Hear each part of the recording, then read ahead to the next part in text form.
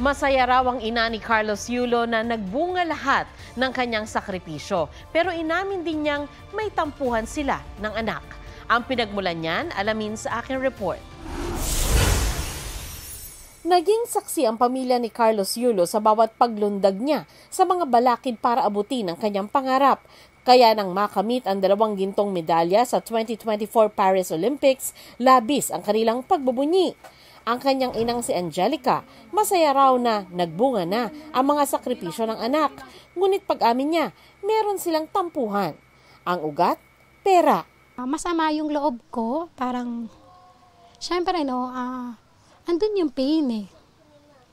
Na parang sabihan ka ng anak mo na magnanakaw. Ganun pa rin naman kami, tulad ng dati, nung hindi pa siya nagkakapera. Nung nagkapera siya, walang nagbago sa lifestyle namin.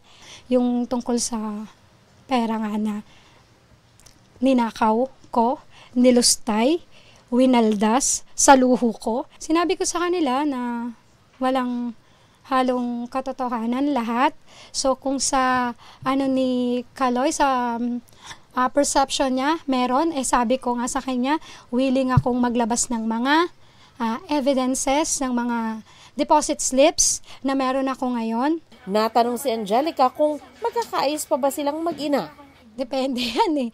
Kasi kung ako yung lalapit, hindi ko talaga gagawin. Especially now sa mga nangyayari, baka mamaya sabihin ako na porket nanalo, na parang, di ba, na parang, o oh, after kami sa pera kasi nanalo. No. Sinusubukan naming kunin ang reaksyon ni Carlos tungkol sa pahayag ng kanyang ina. May hiling naman ang ama niyang si Mark Andrew. Congrats na, love you too. Sana uh, mag-usap-usap tayong family. Uh, matapos na yung ano natin. Pero, hindi naman masyadong problema na hindi naman totoo.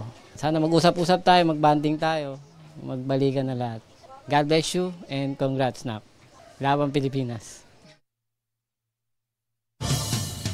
Huwag magpahuli sa mga balitang dapat ninyong malaman. Mag-subscribe sa GMA Integrated News sa YouTube. Sa mga kapuso abroad, subaybayan nyo kami sa GMA Pinoy TV at sa www.gmanews.tv.